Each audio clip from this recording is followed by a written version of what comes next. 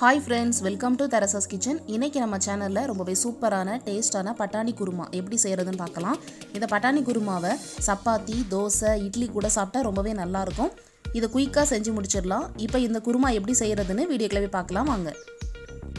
இந்த குருமா செய்கிறதுக்கு முதல்ல மசாலா அரைச்சிக்கலாம். அதுக்கு ஒரு மிக்ஸி ஜாரில் துருவன தேங்காய் இருந்தால் காக்கா சேர்த்துக்கோங்க. நான் தேங்காயை கட் பண்ணி சேர்த்துக்கிறேன். இது கூட ஒரு டீஸ்பூன் கசகசா அரை டீஸ்பூன் சோம்பு. இது எல்லாத்தையும் சேர்த்து தண்ணி சேர்த்து மசாலாவை அரைச்சி எடுத்துக்கோங்க. மசாலா ரெடி பண்ணியாச்சு. அடுத்து குருமா வைக்க ஸ்டார்ட் பண்ணலாம். அதுக்கு ஒரு குக்கரில் மூணு டேபிள் ஸ்பூன் ஆயில் ஆயில் சூடானதுக்கு அப்புறமா பட்டை கிராம்பு ஏலக்காய் நட்சத்திரப்பூ பிரிஞ்சு இலை எல்லாத்தையும் சேர்த்துக்கலாம். அதுக்கப்புறமா அரை டீஸ்பூன் சோம்பு சேர்த்துக்கோங்க. சோம்பு நல்லா பொரிஞ்சதுக்கு அப்புறமா ஒரு வெங்காயத்தை பொடியை நறுக்கி சேர்த்துக்கோங்க. சேர்த்துட்டு வெங்காயம் பொன்னிறமாகிறது வரைக்கும் நல்லா வதக்கி எடுத்துக்கோங்க.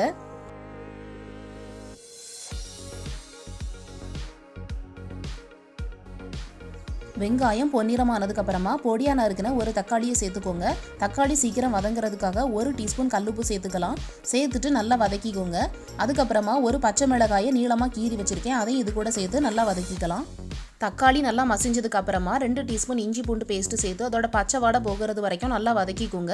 இப்போ மசாலா எல்லாம் சேர்த்துக்கலாம். இப்போ அடுப்பை சிம்மில் வச்சுட்டு கால் டீஸ்பூன் மஞ்சள் தூள் ஒரு டீஸ்பூன் மல்லித்தூள் அரை டீஸ்பூன் கரம் மசாலா ஒரு டீஸ்பூன் மிளகாய் தூள் எல்லாத்தையும் சேர்த்துட்டு நல்லா வதக்கிக்கோங்க.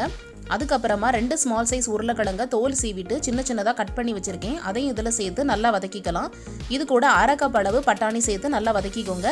நீங்கள் ஃப்ரெஷ் பட்டாணி இருந்தால் சேர்த்துக்கலாம். காஞ்ச பட்டாணியாக இருந்தால் எட்டு மணி நேரம் நல்லா ஊற வச்சுட்டு அதுக்கப்புறமா சேர்த்துக்கோங்க. இப்போ இதில் கொஞ்சமாக தண்ணி சேர்த்து மிக்ஸ் பண்ணிக்கோங்க. தண்ணி கொதிச்சதுக்கு அப்புறமா நம்ம அரைச்சி வச்ச பேஸ்ட்டில் கொஞ்சம் தண்ணி கலந்து சேர்த்துக்கலாம். சேர்த்துட்டு நல்லா மிக்ஸ் பண்ணிக்கோங்க. இப்போ இதுக்கு தேவையான அளவு உப்பு சேர்த்துக்கலாம். இப்போ இதுக்கு எவ்வளோ தண்ணி தேவைப்படுதோ அவ்வளோ தண்ணி சேர்த்துக்கோங்க. சேர்த்துட்டு நல்லா மிக்ஸ் பண்ணிக்கோங்க. இப்போ உப்பு சரியாக இருக்கான்னு பார்த்துட்டு தேவைன்னா பார்த்து சேர்த்துக்கோங்க.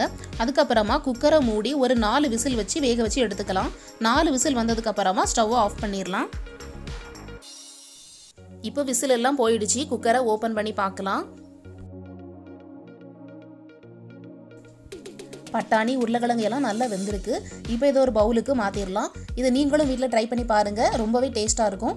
நான் இதை இன்றைக்கி சப்பாத்தி கூட சாப்பிட போகிறேன் நீங்கள் இதே ப்ரொசீஜரில் பட்டாணிக்கு பதிலாக சிக்கன் கூட சேர்த்து பண்ணிக்கலாம். இந்த வீடியோ உங்களுக்கு பிடிச்சிருந்தா லைக் பண்ணுங்கள் உங்கள் ஃப்ரெண்ட்ஸ் அண்ட் ஃபேமிலிக்கு ஷேர் பண்ணுங்கள் அப்படியே தரசாஸ் கிச்சன் சேனலுக்கு சப்ஸ்கிரைப் பண்ணுங்கள் இன்னும் ஒரு இன்ட்ரெஸ்டிங்கான வீடியோஸோட உங்களை நான் மறுபடியும் சந்திக்கிறேன். தேங்க்யூ ஃபார் வாட்சிங்